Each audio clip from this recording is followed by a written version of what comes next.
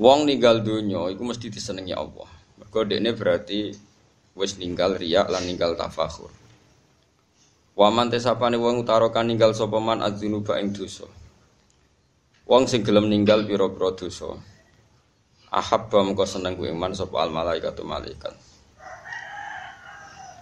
Wong sing ninggal dosa iku yo ngenakno malaikat. Li ana wis ana sak meneman iku layut ibu iku ora beratno sapa man al katabata ing malaikat tukang nyatet.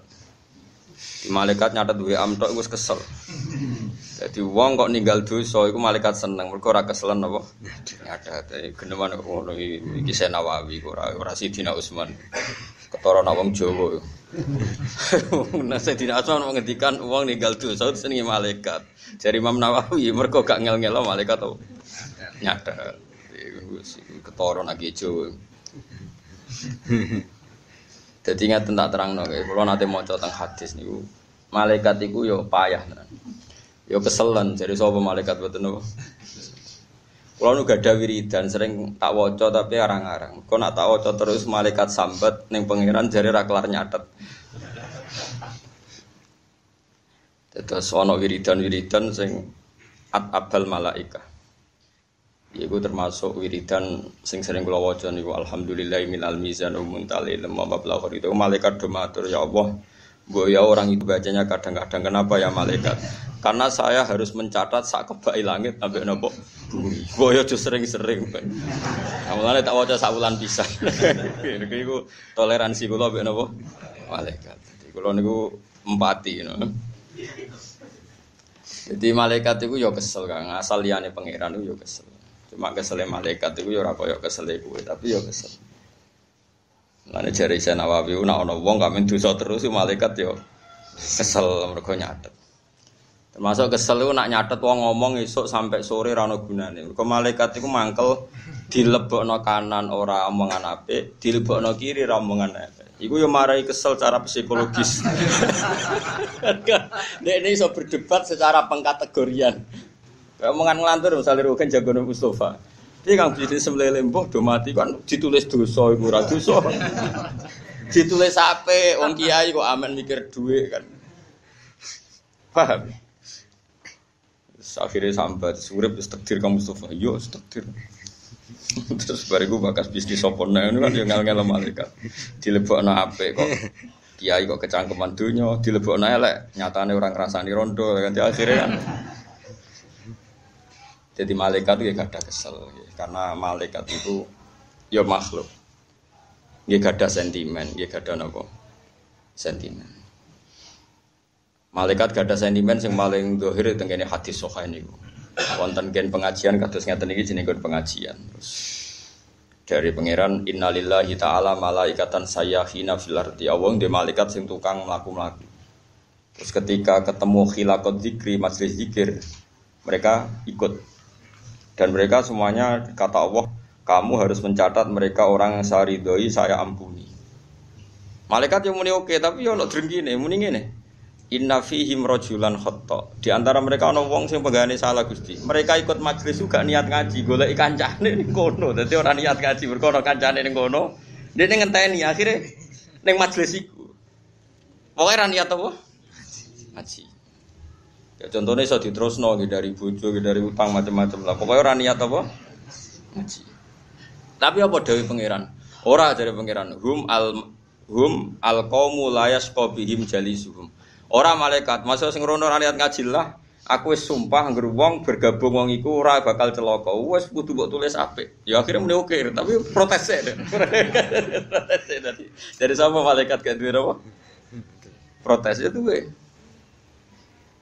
Kayak rai-rai sampeyan diangkat dari khalifah, malaikat ya protes atas alufiha mayusidu fiha wa yasfikut dima. Rai-rai ngoten dadi khalifah. Wa nahnu nusabbihu bihamdika nuqaddis. Lah pantese ra kula dadi pemimpin wong tukang maca napa?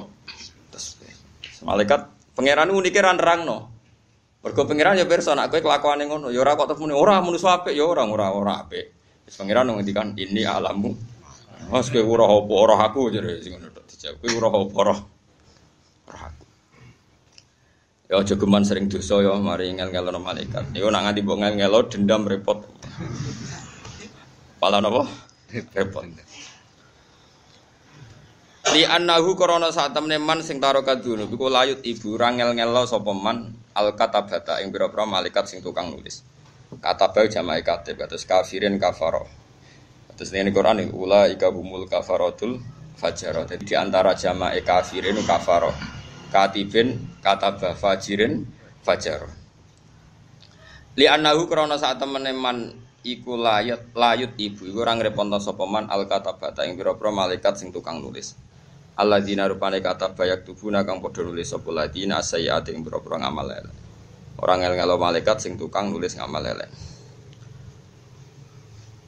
Jadi mulane hati-hati ke hubungan dengan malaikat. Mulane Fatihah iki malaikat karubiyin, rohaniyin, terus sering di Fatihah kiai-kiai iku ben rapati sentimen, paham ge ben rapati napa? Contoh sing paling masyhur ge Jibril. Fir'aun niku bareng ape tenggelam, iku ya iman. Fir'aun niku bareng ape tenggelam nggih iman niku masyhur binasil Quran. Amantu annahu la ilaha illalladzi amanas bihi Banu Israel. Aku iku iman nak pangeran yo pangerani Bani Israel. Sekampangane muni la ilaha il Iku Jibril lu mangkel. Kok penak ning donya ngaku pangeran budiga sanape mati husnul. Iku langsung diseseli napa? lemah. Fa akhudha Jibril qabdatan min turabin wa dasahu fi fihi fir'aun. Pengen lemah disesli cangkeme kok penak ke husnul khotimah. Cita-citaku nyiksa kowe kok ke husnul khotimah. Wah wah ya malaikat itu sentimennya masya Allah tenan. Nah tapi zaman kita ngaji cilik jadi malaikat rada sentimen. Iku ya ilmu zaman cilik, gede ya rubah. Aku ya ngandel kayak cilik dikandani jadi malaikat tuh rada nafsu, rada mikir ya ngandel. Tua-tua yo yo rapati ngadut. Tapi yo kowe nak mulang cilik yo ngambil ilmu cilik. Yo pelem nabi enom yo kecut tapi tua yo mateng yo ora usah mbok protes. Lan kok tambah suben tua-tua menawa yo tambah mau kumpul kowe yo ora oleh mbok protes. Wae uzlah kok kumpul-kumpul. Saiki yo pantese kumpul. Padha ra jelas tapi suben iso wae ra kumpul. Jadi malaikat ngoten, iya gak ada sentimen. Tapi iku mau semuanya terkendali ra koyo kita, kayak kita itu ra terkendali sekali dia sentimen hasud be wong no. Nah, malaikat boten sentimen iku cek fillah walillah mau. Sanggeng mangkele malaikat teng sinten? Firaun wong budigasan sak dunya-dunya ini budigasane kelas tinggi ngaku pangeran. Mau angkel Jibril, wong kok ono wong aku nopo? Kok penak pe mati? Tobat. Jadi mau coba ilah warung genep diseseli lemah be sinten? Jibril. Ben ora kasil husnul. Jadi sampean mbah iku debat Jibril mbek Firaun. Karo aku. Nanti debat sebetulnya saya sudah ingin husnul khotimah. Kok debat barang ono pengadilan Ahok. Ala garu-garu. Pengadilan di hukum publik itu pengadilan.